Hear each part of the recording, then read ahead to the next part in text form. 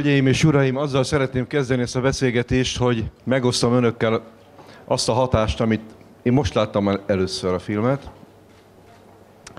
és tulajdonképpen az én számomra az volt a legerősebb hatás, amit egyébként a Paliról mindig is lehetett tudni, aki őt vagy a munkásságát ismeri. Nevezetesen Pali, az én számomra Igen. Az ö, ütött át legerősebben, hogy te mennyire szereted a színházat és a színészeket. Van egy rossz hírem, hogy azon kívül még az embereket is szeretem. Úgyhogy, úgyhogy, úgy, ne, ne haragudjál. Tehát, tehát csak annyit szeretnék mondani ehhez, amit, ami egyébként a direktor úr már előtte mondta nekem, hogy neki nagyon tetszett, úgyhogy most egy kicsit remeg a hangom. Természetesen ez másról nem szólhat, mint arról, hogy abban a világban, amelyikben, amelyikben élünk, itt a hiányokat szerettem volna megerősíteni. Tehát a megbocsájtást, a szeretetet, és most nem sorolom föl, itt látták a filmet. Tehát szándékom szerint, visszatérve ide, hogy a, a szeretet a, a számomra, és elmondtam, tessék, parancsolj. Amikor én a színházi pályámat kezdtem, azt, hogy valahogy egy olyan kultúrkorszakba csaptam bele, amikor a filmes trend az volt, hogy ciki volt színészekkel filmet forgatni. A filmrendezők egy kezemben meg tudom számolni, nem jártak színházba, nem ismerték a színészeket, és egyáltalán színész szerepeltetni az olyan ciki volt. Amatőr szereplő, az az igazi. Tehát az, az ment orba szájba, és az a... Az én karrierem ott kezdődött, és ott is ért véget körülbelül. A, de azon néhány ö, filmrendező között Pali volt az, akit azt gondolom, hogy a lehető legtöbbet láttunk színházi premiereken, mert érdekelte. Érdekelte, hogy mi történik a színházban, érdekelték a színészek, és ő maga is ö, ö, sokat dolgozott egyébként a színházban. De Pali, most a végig gondolok arra, hogy a életművedben most három címet mondok, Miss Arizona, ö, Ripacsok, vándorszínészek, és a Miss Arizona és a ripacsok között ott van egy időtáv, na de a ripacsok és a vándorszínészek között ott nagyon sok idő van. Az ott mi volt? Az a laza 35 év. Úgy de jól számolsz. Ö, hát nem, e, én úgy vagyok ebben a dolog. Ugye most arról fog szólni, hogy én nekem viszonylag vagy elég őszintén kell beszélnem, ugye? Elvárják tőlem. Jó, hajrá. Ö, tehát az, hogy én akkor tudok filmet csinálni, hogyha ha valami érzés gombolyag, valami össze sűrűsödik bennem, akkor tudok filmet csinálni, hogy a körülöttem lévő világ számomra ö, úgy érzékelem, hogy valamennyit már tudok róla. Nem tudom, hogy emlékeznek-e, ráírunk 1990-et, történt valami ebben az országban. Ö, egy, egy hatalmas váltás történt az önök életében is, meg a mi életünkben is nyilvánvaló módon, már aki itt vannak fiatalok is, szóval akik éltek. És én nekem meg kellett mint ahogy mindenkinek, meg kellett tanulniok másképp gondolkodni, másképp élni, másképp létezni. Tehát akkor, amikor körbe voltunk véve egy szöges dróttal, akkor, amikor ö, azt gondolom, hogy a létbiztonság, az nagyon pirinyó volt maga a lét, de a biztonság az sokkal, hogy mondjam, az, az, az ér, érezhető volt. És akkor történt ez a dolog, és én addig nem tudtam filmet csinálni, amíg, amíg nem tanultam meg egy kicsit magunkat. Nem tanultam meg egy kicsit azt, hogy az az élet, amelyik, amelyikben élünk, az mit igényel tőlem, hogy elmondjam. És amikor ez, ez, ez csomóra kötődött ez a dolog, akkor, akkor csináltam filmet.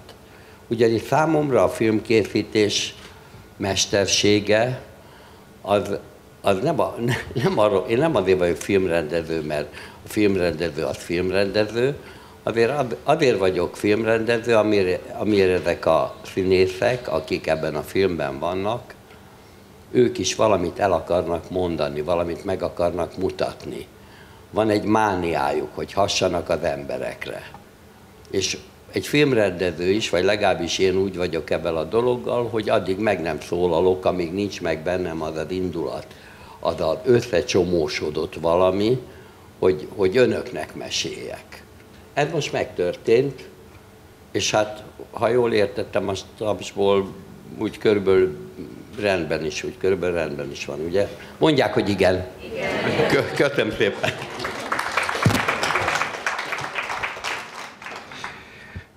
Pali, amikor eldöntötted, hogy ez, ez a tém, ehhez a témához nyúlsz, a, és voltak segítőtársaid ebben a forgatókönyv írásában, de azt gondolom, hogy talán a, a legmélyebb inspiráció, és ez most egy kérdés felé, az honnan jött? Tehát, hogy hogy, hogy jöttek ezek a Petőfi felhangok, a Bojtorján, a, sőt, úgy, bocsánat, Borostyán, és közben úgy emlékszem, hogy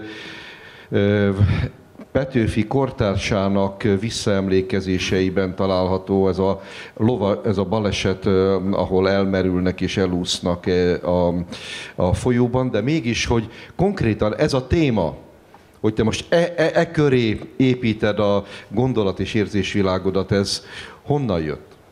Hát elmondom, csak egy kicsit hihetetlen lett, de akkor is így volt. Forgatunk egy, egy, egy filmet, ennek a filmnek én voltam a producere, és nem akar, Mészáros Márta rendezte, és én nem akartam, nem akartam, nem akartam lábatlankodni benne, ezért kimentem az előtérbe, és a, nem tudom, hogy voltak-e, vagy valaki volt-e önök közül, az előtérbe jobbra fölfele vezet egy lépcső, és ott szobrok vannak, ilyen szoborfülkékben, ilyen melszobrok, illetve a portrék tulajdonképpen. És akkor a nyugi is volt, mert ott csend volt benne a forgatáson, és akkor valahogy oda, úgy meg akartam ezeket nézni, hogy kik ezek. És kérdeztem ezt a kislánytól, aki vigyázott, hogy mi ne törjünk össze mindent a forgatással, kérdeztem, hogy ezek kik. És azt mondta, hogy ezek vándorszínész portrék. És akkor oda mentem, külön-külön, szem hat darab van ott fönn, és külön-külön mindegyiknek belenéztem ilyen közelről az arcába. És vagy az volt az érzésem, hogy én, én beszélnék velük, de nem, valahogy nem akarnak megszólalni. És akkor kijött a Jancsó Miklós filmrendezőnek a fia, a Jancsó Nyika, aki az operatőr volt, és elmondta, hogy az ő ők déd, nem tudom melyik apja, az a leghíresebb színész volt, vándorszínész, komikus, és akkor ez úgy elkezdett bennem valami nagyon furcsa dolog. És akkor ezt egy kicsit emléket is állítottam ennek a film, filmben. Kimentem, tudom, hogy ez nem szép dolog, én cigarettázni szoktam, bocsánatot kérek, és kimentem az udvarra, és rágyújtottam egy cigarettára. És úgy bennem voltak ezek a vissza nem válaszoló szobrok, és egyszer csak ekkora pejhekbe elkezdett esni a hó. Na most mesés pillanat volt, és valahogy ez előhívta bennem ez a, ez, a, ez a két furcsa helyzet, előhívott bennem valamit, hogy én ezeket az embereket meg akarom szólaltatni. Ha nem szólaltak meg nekem, akkor majd én megszólaltatom őket. És tulajdonképpen ebből, ebből a, ebből a négy percig tartott ez az egész dolog hóeséssel együtt, vagy öt, ebből indult el az, hogy én a vándorszínészekről akarok filmet csinálni. És hát innentől kezdve meg kínlottunk három évig avval, hogy milyen legyen a forgatókönyv, akkor két évig írtuk a forgatókönyvet, akkor egy év volt, még elfogadták, és akkor két évig csináltam a filmet, úgyhogy ha összeadom, az 6-7 év, és hát akkor most itt van önöknek. ez ne haragudj, ez egészen gyönyörű és megható, amit mesélsz, mert ez körülbelül olyan, mint amikor valaki a felnőtt gyerekéről mutat egy ultrahang képet, amikor még az anyukájának a, a pocakjában volt. Tehát én őszintén szólva egy műalkotás így embrionálisan, a fogantatás pillanatában, ezt soha nem hallottam, szóval ez gyönyörű, ezt köszönöm, ez nagyon szép. Mond, Be, Best, hogy így volt. Pali, jó, meg volt a fogantatás, megjött aztán forgatókönyv, stb. Amikor kialakult a történet, stb., akkor arra vagyok kíváncsi, hogy hogy jöttek hozzá a színészek, azok, akik itt ülnek. Illetve, hogy és hogy is volt? Volt a történet, és akkor hozzájöttek, akik itt ülnek, vagy közben, és a Gáspár, de a Gáspár, vagy a, ez hogy, melyik volt előbb, vagy ez, érted, mit akarok itt? Hogy a fennében érteném? Ö, ö, hát megint csak, hát ugye, jó, ö, Gáspár, elkezdted a Sanyival, oké. Okay. Na jó, mert ez, ez egy jó pofa dolog volt. Én, én, én most nem tudom, hogy mondtam-e már a Sanyinak, én egy elképesztően nagy színésznek tartom. Hogy mondod?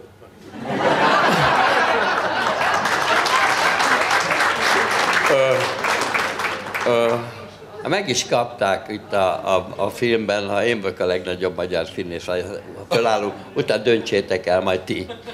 Bocsánat, ne haragudj, hogy közbe kell vágnom. Ez benne volt a forgatókönyvben, vagy ti találtátok ki? Ez benne volt speciálban. Van olyan, amit ők találtak ki, de arról most nem beszélünk.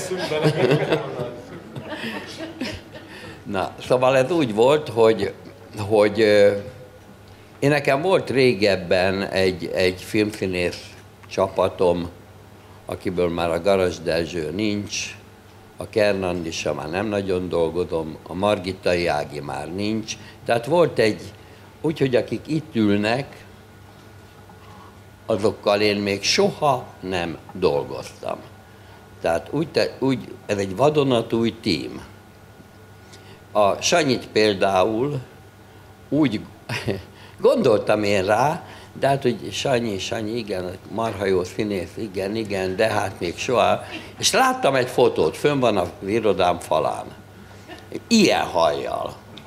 És amikor ezt a fotót megláttam, tud, tudtam, hogy a, a, a, csám, a, a, bocsánat, a Gáspár művész úr, jó, az ide, ő, ő, lesz, ő lesz.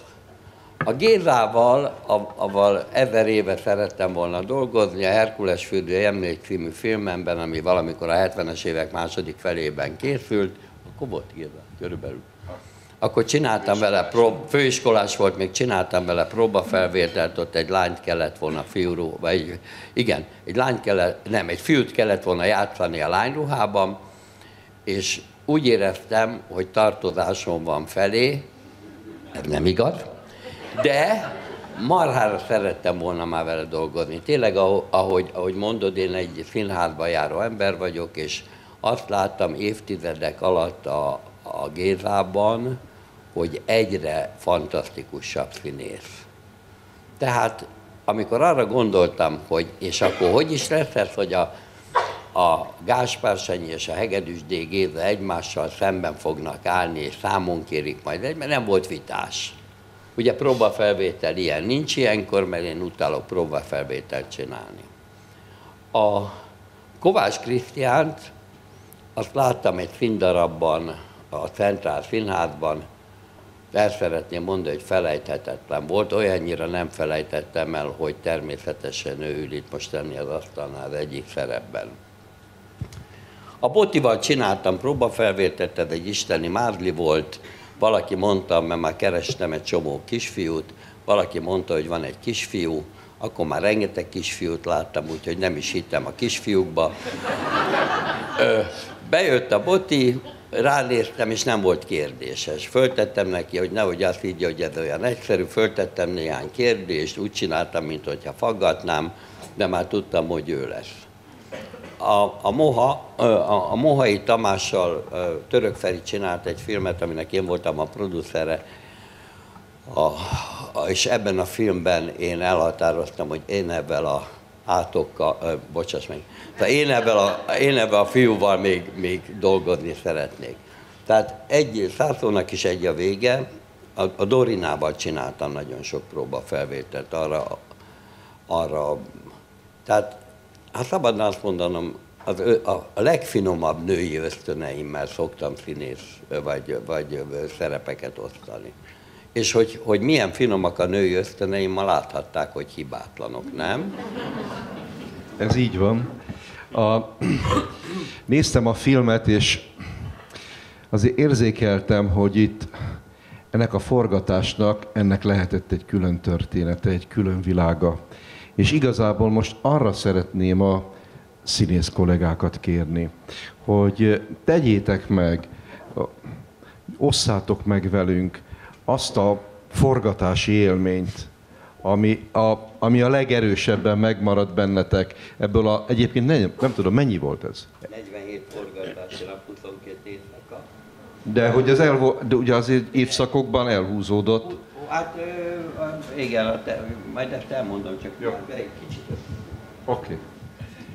Okay. Igen? Ha, én most János visszadobom a labdát. Kérdezd meg, légy szíves tőlem, mint moderátor. De, mint moderátor tőlem kérdezd meg, hogy minden színházigazgató ilyen hülye?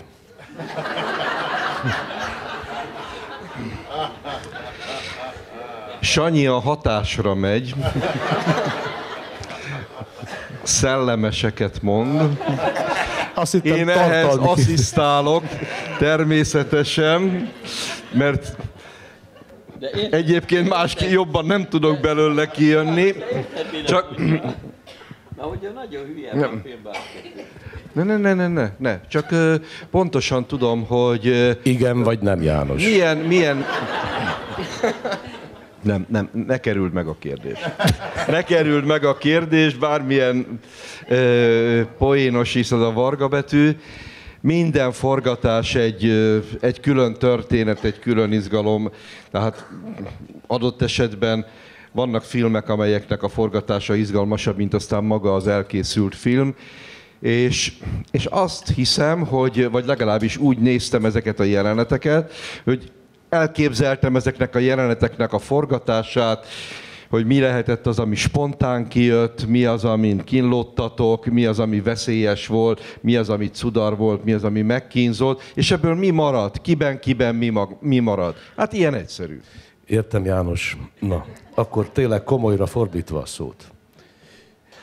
É, nagyon ö, veszélyes forgatási helyszíneink is voltak a víz alatt többek között, és azt tudni kell, hogy valamire való színész az büszke arra, hogy miatta a kamera nem áll le.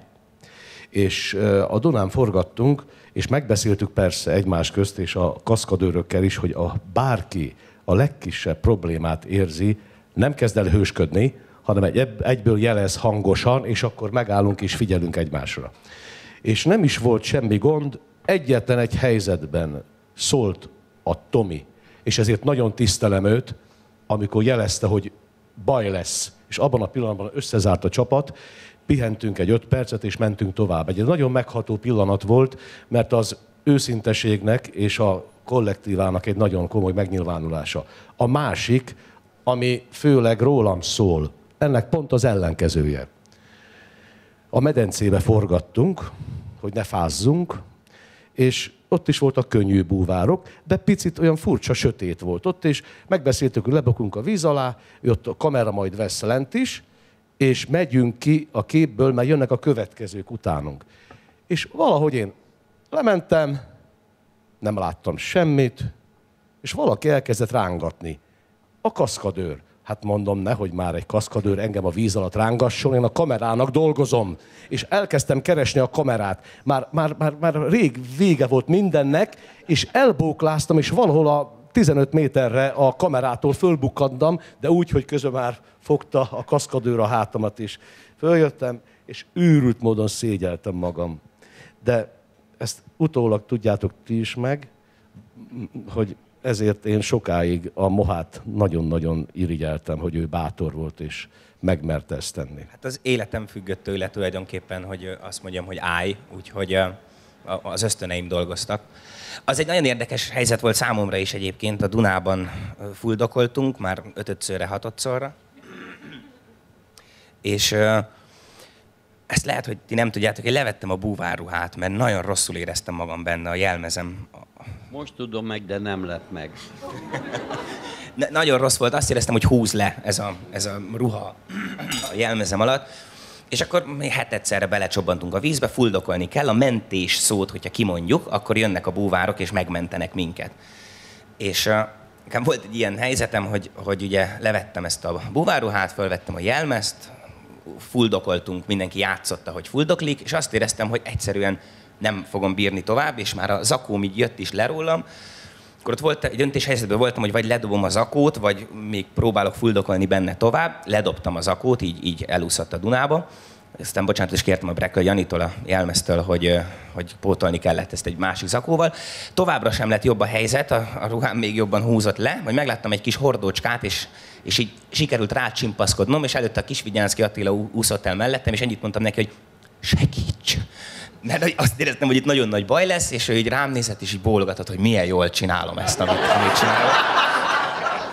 Majd ezek után elkaptam a hordót, ami ott úszkált a Dunában, és így kifordultam, így egy kicsit segített a víz fölé emelkedni, és akkor a Pali kiabált, hogy még egyszer, gyerünk újra! És mondtam, hogy, hogy én ezt nem, nem, nem bírom, sajnos le kell állni, mentés, végem, és akkor valóban volt az öt perc szünet, és hát köszönöm, nagyon jól esik, hogy, hogy ezt példának hoztad fel, de hát tényleg az életem függött rajta abban a pillanatban. Egyébként jó jelenet lett.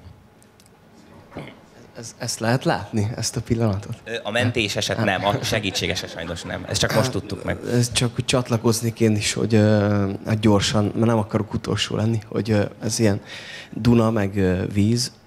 hát egyrészt belé égett, amikor Pali, ahogy az előbb mondta, hogy dohányzik. Tehát nekem az, amikor az a viszonylag a film elején van, amikor a, amikor a lány melleit meglátja a, a főhős, és akkor én, mint a, mint a lány fiúja beszaladok a vízbe, ugye, és elintézem a, a katonaszökevényt, és amikor ezt vettük föl, hát én nem 40 napot, hanem én csak 11-2-t vagy 14-et voltam, nem voltam túl sokat, de ez valahogy így az elején volt, azt tudom, és ez ilyen lájtos Dunába merülés volt, de hát egyrészt beégette, hogy a Pali a, a, ebbe az úszó ruhába ö, cigizik, és ott áll, és kiabál, hogy felvétel, meg, meg hogy utána rá két napra, rá két napra, vagy három napra ö, mondta a, mondta így nekünk színészeknek, ott, ott volt mindenki, akkor még én is kim voltam forgatáson, mert, a, mert nem hagytam el dramaturgiailag jó ponton a csapatot, meg ilyen gonoszul, hogy elvittem a példányokat is, hogy, hogy azt mondta, hogy gyertek, akarok valamit mutatni, és, és lejátszotta azt a, azt a részt, ahogy én befutok a vízbe a mohához, mert ugye az volt, hogy, hogy hogy mondta, hogy fussak be teljes erőből, és én arra számítottam, hogy nagyon hamar mélyülni fog a, a Duna, és hogy már nagyon nehéz lesz benne futni. Ezért emeltem a lábaimat, tudom, erre emlékszem, de a víz az kb. 10 centis volt, vagy 15, és ettől iszonyatosan hülyén uh, szaladtam. Uh, és ezt csak azért is akartam elmesélni, mert, mert, uh, mert hogy, hogy hallottam, uh, mert én is néztem a filmet most, mert most rajtam volt a szemüvegem. Akkor először néztem, akkor, akkor Pali nem volt rajtam, csak nem mertem mondani, mert távolra nem, nem látok annyira jól. Hogy, hogy, de hogy, hogy tényleg hatásában az, az tényleg valahogy olyan, tehát hogy így pont az a életszerű is, de picit elrajzolt, és, és tényleg, hogy a, a sok, a, az ilyen pillanatok nagyon jók szerintem ebben a, ebben a filmben amúgy, de hogy na mindegy, csak ennyit akartam picit hosszan mondani, hogy nekem ez, ez, ez égett be, ez a, ez, a, ez a jelenet, meg aztán, hát az picit rossz érzés volt, hogy, hogy ezt így, így valahogy úgy, úgy így ki voltam emelve, hogy meg akartam mutatni Palis. Az, az már picit nekem ilyen kényelmetlen érzés volt, de, de minden esetre mulatságos talán. Akkor most jövök én. Öm, ugye vizes fuldoklós jelenetekből nekem nem jutott, Salamon már az lehet meghal, de, de víz rám is ö, esett, mert ugye amikor elakadt a szekerünk és ördög, akkor volt a nagy viharos jelenet, és visszatérve a kérdésre, nekem az nagyon Nekem az volt az egyik kedvencem. Sokat szenvedtünk, ott a vízben nagyon, nagyon hideg volt nekünk, ugye, hogy esett ránk, és ugye többször felvettük azt a jelenetet. Ha jól emlékszem, ott a homokdűnéknél vettük fel, így a talaj is kicsit mocsaras lett ugye a víztől. És az ördög szót legalább ezerszer ordítottuk ott mindannyian. Egyik se volt jó, Pali bácsinak nem tetszett annyira, amikor... De aztán az ezredik jó lett, az be is került a filmbe emlékszem, annyira, annyira elfáradtunk, hogy, hogy beültünk pihenni a sátorba, legalábbis én arra nem emlékszem, hogy elaludtam, és arra keltem, hogy akkor most felvennénk még egyszer. Megkérdeztem, mennyit aludtunk, és elvileg csak 10 perc volt, pedig két napnak tűnt, amíg aludtam. Csak annyit felték hozzátenni, hogy azért Elmesélve vidámabb egy kicsit ez a történet, mert én például, amikor a moha fuldoklott, akkor halálosan üvöltöztem az ügybe, hogy maradj már benn, hát mi a, mi a probléma? De ez az egyik dolog. A másik dolog, el szeretnék valamit mondani, ami a, a hogy, hogy milyen érdekes, ugye most ilyen műhelytitkokról, vagy hogy a kulisszák mögöttiről beszélünk, én nagyon odafigyelek arra, hogy színész engem ne vágjon át. Hogy, hogy az történjen, amit én akarok, mert itt én vagyok a rendező. És a Krisztiánnal történt meg az a következő, megpróbálom röviden elmesélni, hogy a Krisztiánnak akkor választania kellett a film elkezdése előtt, hogy egy színházi főszerep, jól mondom, Krisztián? Igen, egy színházi főszerep, meg egy filmet is megkaptam, de azt nem mondtam el.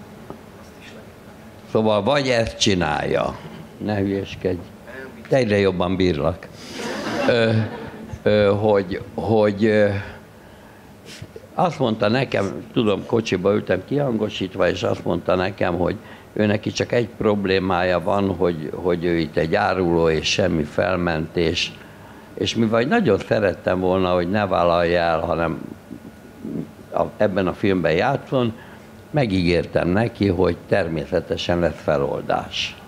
Ki fogom találni, sőt, már a fejemben is van. Letettem a telefont, és azt mondtam, hogy na, ezt jól átvágtam. Most azt fogja hinni, hogy én tudti, hogy föl nem oldom ezt a árulót. És volt, van az a vége jelenet, amikor ugye a Moha jön, a, a, a Tamás jön ebben a... És ő elkapja, na most egy borzalma, ez egy borzalmas éjszaka volt, két kamerán, vagy két monitoron néztem a jelenetet, de mivel hogy a mohára helyenként jobban oda kellett figyelni, én a mohát néztem a monitoron elsősorban. És beülök a vágószobába, és mit látok? Azt látom, hogy eljátsza azt a hátam mögött, hogy elengedi a mohát. Tehát azt szeretném mondani, most önök a tanúk. Amit ígértem, betartottam.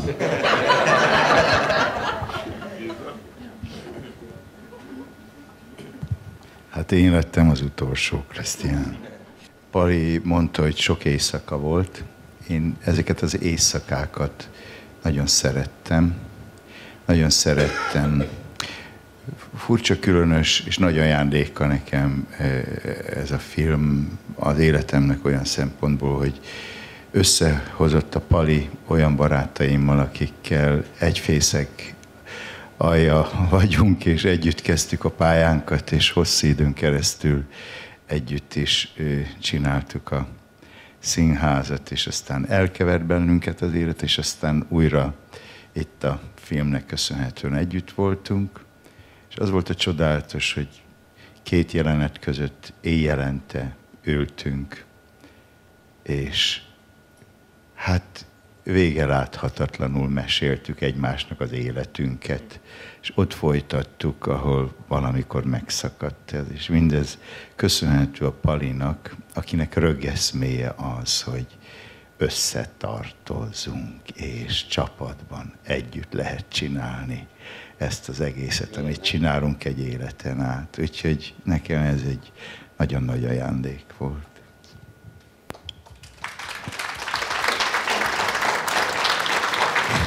Ez érdekes, és szóval leütöm a labdát, úgy mondod, hogy e, csapat. E, hát ha azt mondja, hogy csapat, és itt ül a Sándor Pali, akkor ugye régi idők focia. E, és ez teljesen másokból valamit e, kerestünk, és belefutottam a régi idők e, fociába egy részbe, amikor a Minárek, Minárik e, belövi a labdát, és lassan felszáll az égbe.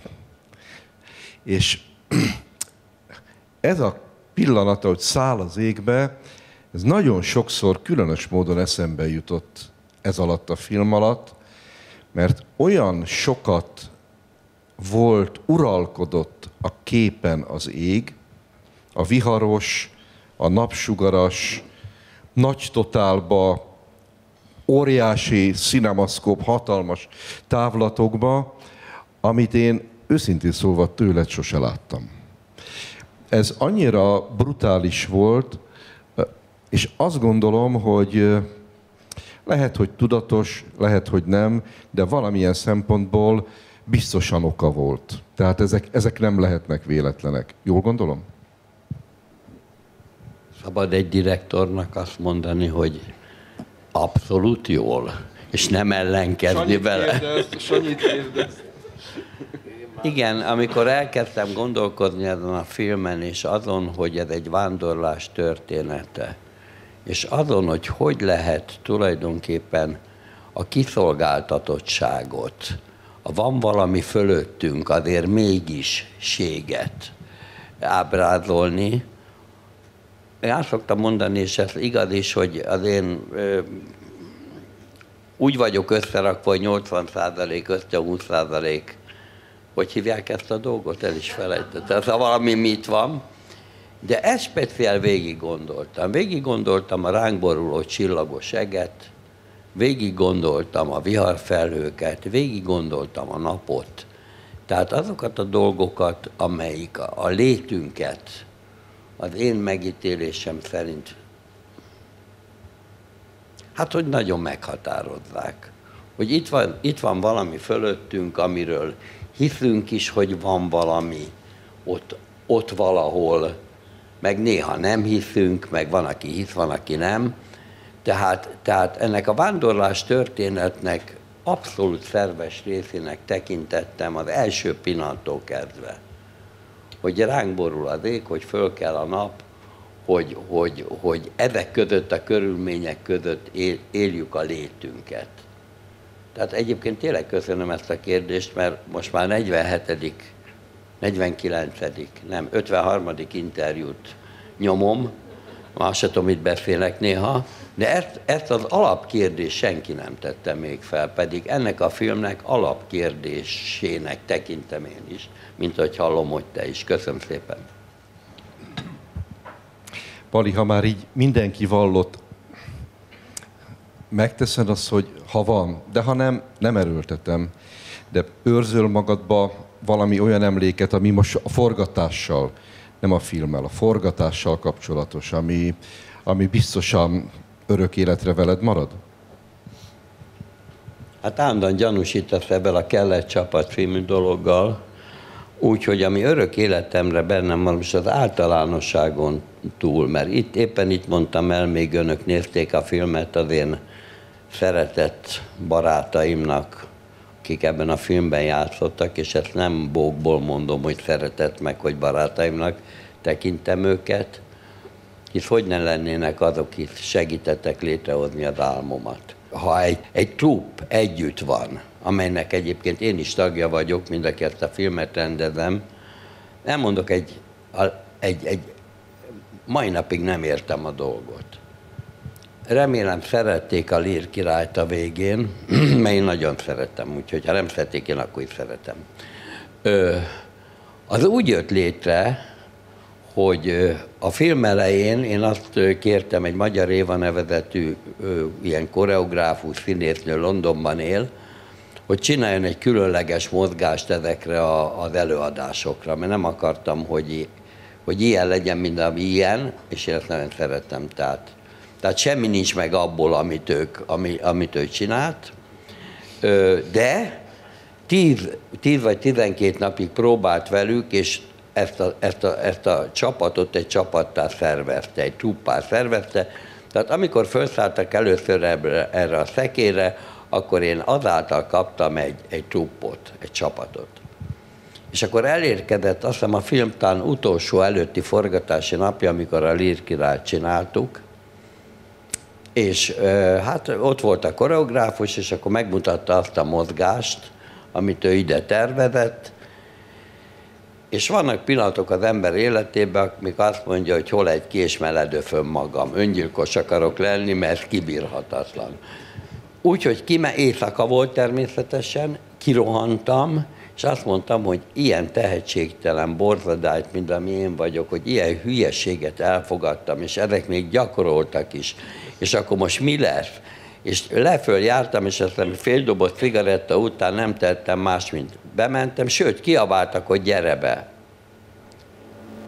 És olyan fokon voltunk együtt, és ez nekem az élet adománya is egyúttal, hogy ők, még én kin örjöngtem, és a tehetségtelenségem, mert dicsértem idézőjelbe, addig megcsinálták azt a jelenetet saját maguktól. Közlöm önökkel, hogy azon kívül, hogy fölvettem és néhány dolgot igazítottam rajta, ez az én alkotó társaimnak, akik közül jó néhányan itt ülnek, köszönhetők. Na most ezt azért mondtam a kérdésedre, János, mert ennél szebb dolgot én, ami csináltam jó pár filmet, én ennél szebb dologgal, lehet, hogy ilyennel találkoztam, de ennél szebb dologgal én még nem találkoztam, hogy, a, hogy azok a, én nem mondom, mert még egyszer értető volt, remélem.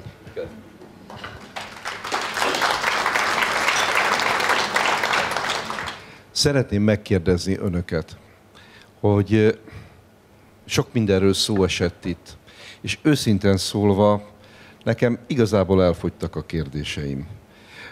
Nem akarom ezt forszírozni, viszont nem is akarom belefolytani a szót azokba, akik esetleg kérdéseket intéznének az alkotókhoz. Kozma Ágnes vagyok, újságíró. Én Sándor Párhoz fordulnék. Én nagyon kíváncsi lennék, hogy mi a következő terve, mert tudom, hogy abszolút tele van életerővel, és megy tovább. Szeretnénk tudni, hogy, hogy mi következik. Két dolog biztos. Az egyik, hogy ugyanebben a truppal szeretnék egy filmet forgatni, nem engedem el őket, annyira bírom őket. Nem, nem, nem.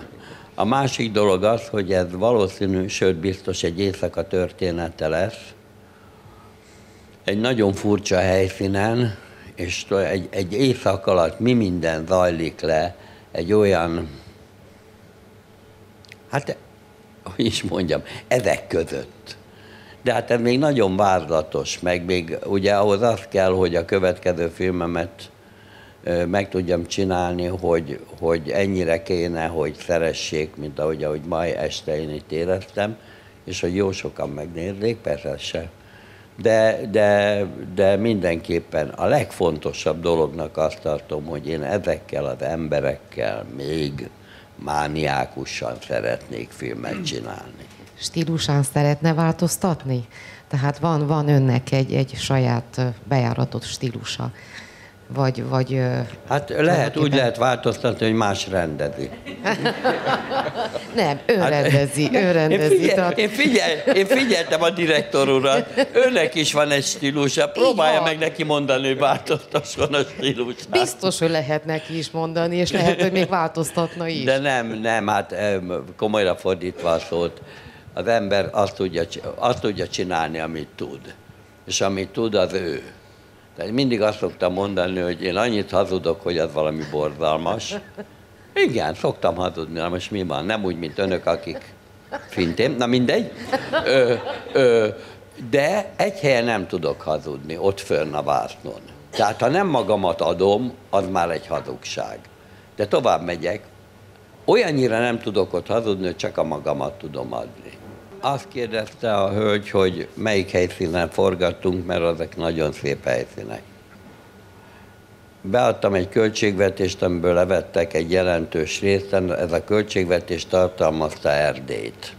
Hogy Erdélyben forgatunk legalább 7-8 napot.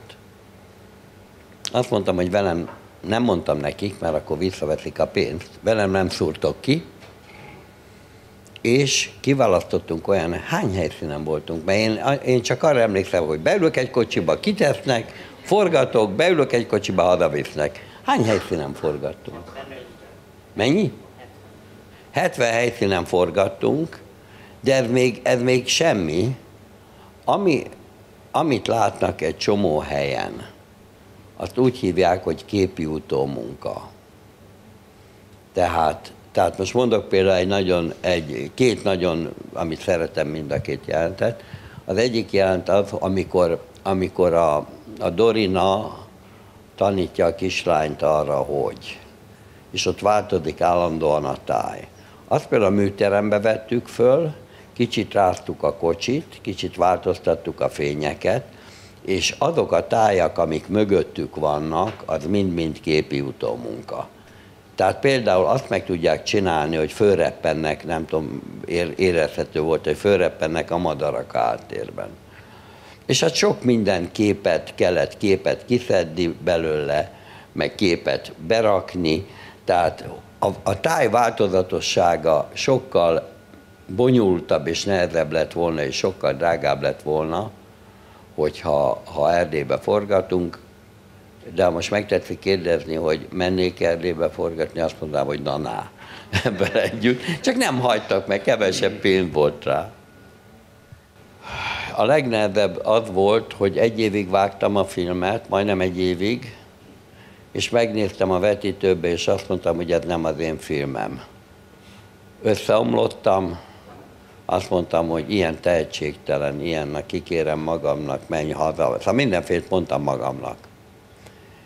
És hát természetesen, hogy mondjam, az ember nem adja fel, és akkor egy másik vágó jött, akivel megcsináltuk ezt az egész dolgot. A vágás az majdnem, majdnem egy, pontosabban egy és háromnegyed évig tartott.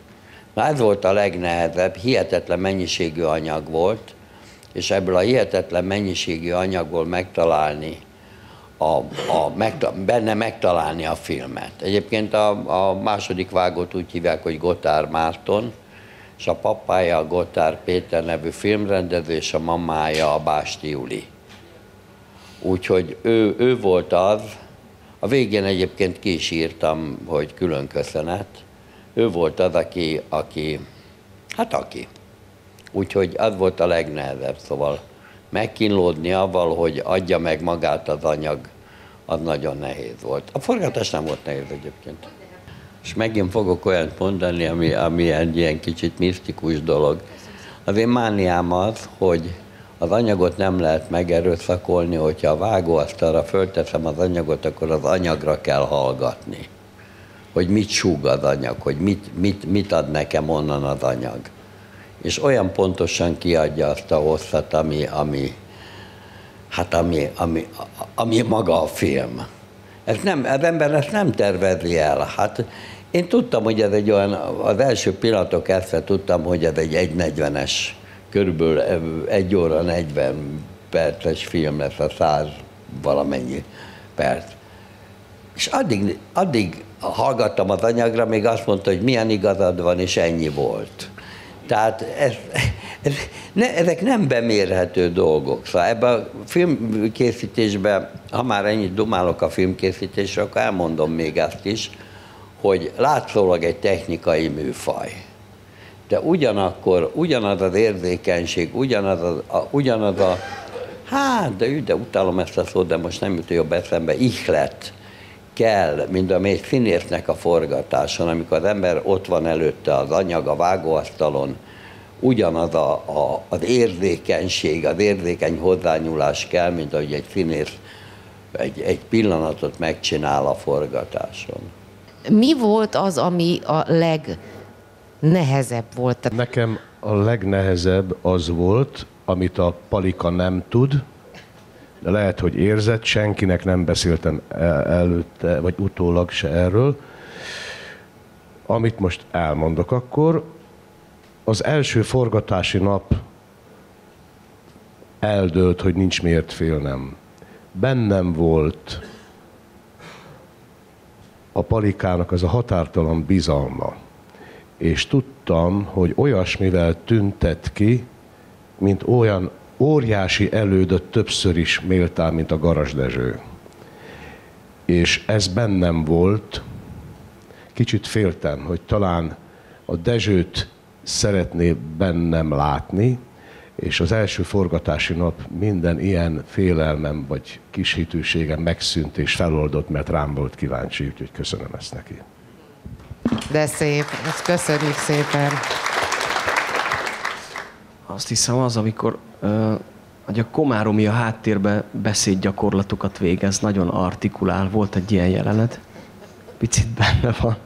És, és hát az valahogy, hogy az, az nem volt megírva, vagy meg volt írva, de át lett írva az utolsó pillanatban, és hát egyébként is nehezen tanulok szöveget, de hogy hát mondtam, hogy ezt nem fogom tudni holnapra ezt így gyakorolni, és hogy, hogy de hát, aztán, aztán már, már nem is emlékszem, hogy, hogy egyrészt megnyugodtam, hogy tényleg a háttérben vagyok, és hogy be, be, betettem-e magamnak, ami igazából teljesen undorító dolog. Be, beraktam-e magamnak szöveget, hogy, hogy, hogy azért mégse roncsam el, de ez mindegy is, csak hogy nekem ez, ez a parám, ez, a, ez az, ami, amitől nagyon-nagyon rettegtem, vagy ilyen, ilyen nagyon kényelmetlen volt, mert hát mégiscsak szeretném úgy csinálni azt is, hogy, hogy ne azt érezzem, hogy rossz. E- Ez volt, ami, ami így nagyon rossz volt, de, de meg, meg annak, annak örültem, amikor, amikor, és ez hát csak csatlakozni tudok ez, amit a Sándor mondott az előbb, hogy, hogy egyszer csak jó, jó pár filmben dolgoztam már, de most azt éreztem, hogy csak egy sima sétában, hogy egyszer csak azt mondja a Pali, hogy de ez nem Csehov, húzd már ki magad, meg nem tudom én, hogy, hogy úgy, hát jó, de hogy ugye, hát de csak megyek, de, és hát csak menni, hát az a legnehezebb egyébként, és hát az erdőbe a fák között, hogy, hogy nézem, hogy mi van ott, és hogy, de hát ugye mit nézek, és hogy ez annyira, annyira jó volt, hogy mondta, hogy hát húzd ki magad, ne legyél görnyet, és, és ez tö- tök jó látni, meg a szekérnél is, amikor, hát hogy, hogy igaza van, tehát hogy miért kell úgy kihúzni magam, meg hogy nézzek meg, de hogy ez működik, és hát ez az, amit, ez az, ami, hogy a, a közös, közös munkának a, nem tudom, eredménye, vagy hát igen. számomra, ne, nekem volt még egy ilyen történetem a, a Palival, hogy a, nem is tudom a helyszín hol volt pontosan, valami istálóban, és be kellett mennünk a képbe, megérkeztünk valahonnan, és akkor én kitaláltam, hogy én hogy fogok megjönni, és azt gondoltam, hogy milyen igazi, amit csinálok, és akkor a Pali leállította, és azt mondta, hogy úgy jöttél be, mint aki hazamegy. Ez volt, a mondat, ami szerintem egy nagyon vicces mondat. Aztán utána már bejöttem úgy is, mint aki bejön, de um, ugye, hogy velem megtörtént néhány baleset így a filmforgatás első negyedében, mindenféle, ami csak megtörténhet. És akkor, és akkor leült velem a, a Pali, többször beszélgettünk egyébként jókat, és mondta, hogy nyugodjál meg egy kicsit, hogy ez a szerep a tiéd, te hihetsz ebben. És tudtam, hogy ő hisz. Borzasztóan egy kihívást, hogy ott van ő, aki a Sándor Pál, aki egy ikon, és és ott, ott, ott vagyok én, aki én vagyok, és ott vannak körülöttem ezek az első osztályú csodálatos színészek, a profi stáb, és én mondtam a Palinak, hogy nekem, mert kérdeztem még mielőtt elkezdtük a munkát, hogy, hogy, hogy van-e valami, amitől tartok, vagy hogy kell, mi a kulcs hozzám, vagy nem is tudom, és akkor mondtam, hogy nem szeretném, hogyha kiabálnak velem, mert akkor bestresszelek. És mondta, jó, jó, akkor így minden rendben. Szóval inkább, hogyha hozzám ér, ezt csinálj, hajrá, akkor az úgy jobb. És akkor jött a második napon a 120 ember előtt, hogy mi ez a másod kategóriás színjátszás, amit csinálsz üvöltve, csak most nem akarom utánozni. Na, az borzasztó nehéz volt akkor, hogy, hogy, hogy, hogy elhiggyem, hogy ez ugye ez az enyém. Második nap. De utána, utána viszont a rátkövetkező nap meg büszke volt rám nagyon, és akkor meg ugyanúgy kiabálva, de akkor meg nagyon megdicsért, és az meg új, újra feltöltött, hogy akkor rendben itt, itt elhihetem. I- Isten vagy, hol alszol? Ez volt a... Ez volt a... És, és, és hogy még, szóval még eltelt itt x idő, és akkor volt ugye az is, hogy, hogy bevérzett a szemem a nyolcadik felakasztás után. Ö, akkor ugye leültünk a pali, és mondta, hogy, hogy nyugodj meg, volt is egy, egy hetes leállás, és akkor mikor visszatértünk a, a leállás után dolgozni, akkor azt éreztem, hogy oké, okay, most akkor ezt él, kicsit összeszedtem magam jobban, picit már sokkal előbb, előbb kezdtem koncentrálni arra, hogy össze tudjam kapni magam ne csak a tessékre, hanem úgy az alapattitűdöm egy, egy ilyen jó, jó, jó szóval hogy ne legyek szét, hanem, hanem tudatosan jelen legyek, és akkor érdekes módon megszűntek a, a fizikai sérülések, elkezdtem én is jobban hinni, e, megszűnt a ne- negatív ö, kritika, kiabálás attitűdből, és, ö, és elkezdtem nagyon élvezni, és én látom is egyébként, vagy láttam is a filmben, hogy mikortól van az, hogy, hogy elengedtem a félelmeimet. Tessék, valami mit mondtál? Biztos, hogy valami? Nem? Jó, ne akarjuk tudni. Ö... Emlékszem rá, ja? nem tudom, nem. A könyök eltört, a fülelek Mindig velem volt valami. Hát, igen, igényeltem a figyelmet, de aztán megkaptam. És, és szeretném megköszönni.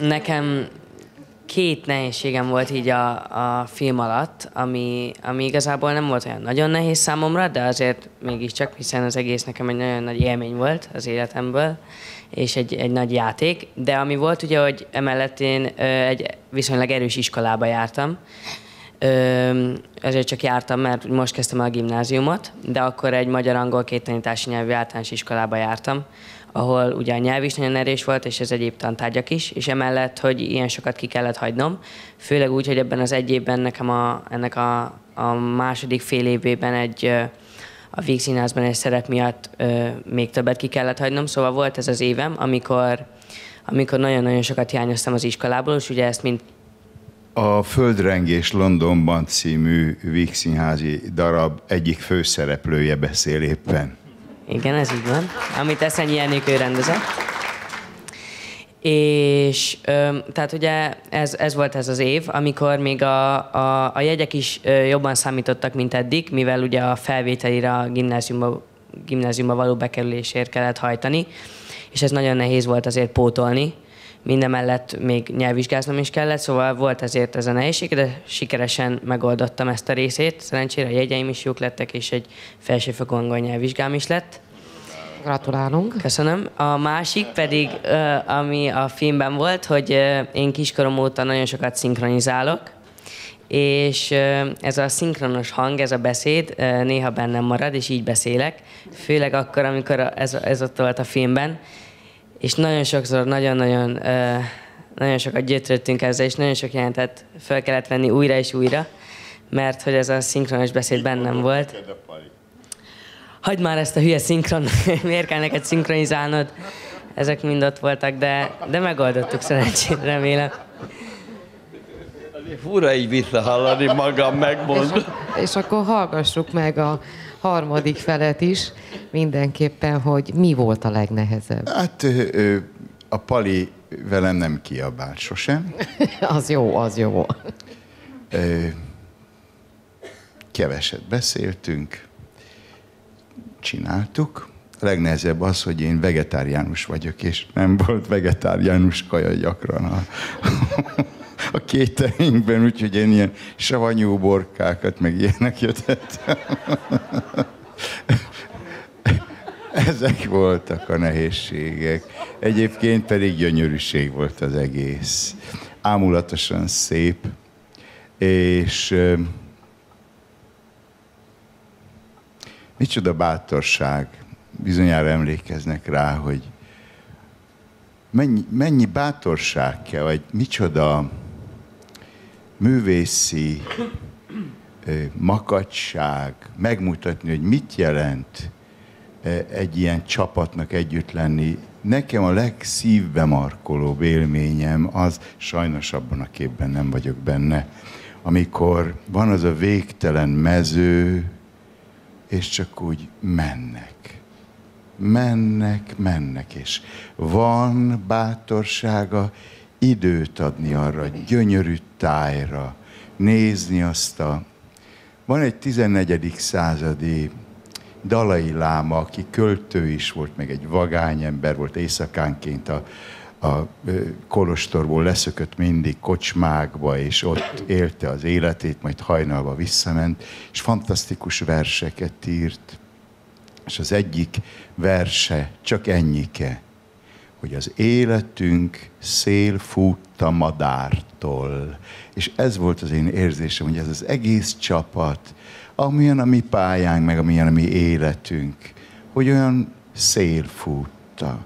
Ott ment, a sors szere csak úgy fújta, sodorta ezt a csapatot a senki földjén, a semmibe, és mégis hittek valami szépségben, valami összetartozásban, mormolták magukban a szövegeiket, a szerepüket, a, a, a leggyönyörűbb költészet, amit nagyon ritkán él meg az ember. De szép végszó. Zárszóként uh, uh, szeretnék föltenni egy kemény kérdést. Pali, hallottuk, hogy filmterveket szősz, fogsz, reméljük, minél hamarabb újra filmet csinálni. Rendeznél színházban, ha hívnának? Na rá!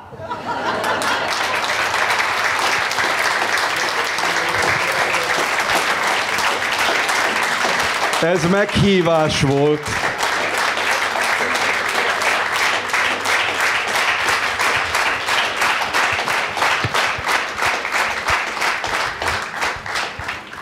Hölgyeim és uraim, legközelebb Sándor Pál fehérvári premierjén találkozunk.